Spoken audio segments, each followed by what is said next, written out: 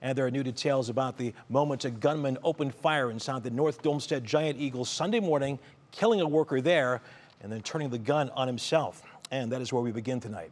Our crime and justice correspondent Lydia Esparra has police video and audio from officers during what were frantic, scary moments for shoppers.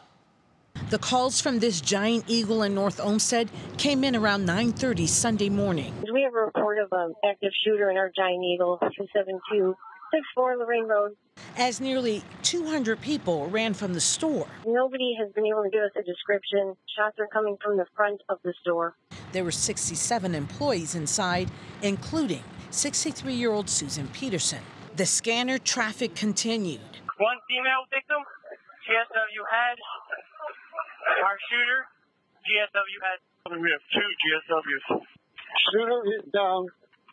We have a victim that was shot one of the employees. Listing agencies copy our shooter is down. Within a minute of getting dispatched, Entering the store. police would identify Petterson as the victim.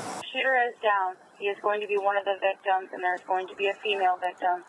Two victims, one female victim with a gunshot wound to the head, also a male victim the shooter. And not far behind, her ex husband, 60 year old Bernard Edward Smith. Investigators say Smith shot Petterson, then turned the gun on himself. Police say it's unclear at this time why Smith opened fire. Court records show the two had been divorced for 20 years. Now, as investigators continue to control the crime scene, police from other cities Secondary victim and suspect are right here. They- They're starting over there. arrived to assist with rifles in tow. Clear. The crime scene, too gruesome to see. Police have blacked out the video. Then the entire store is checked for other possible shooters. Units checking the remainder of the store for any other injuries. The scene is secured within 10 minutes.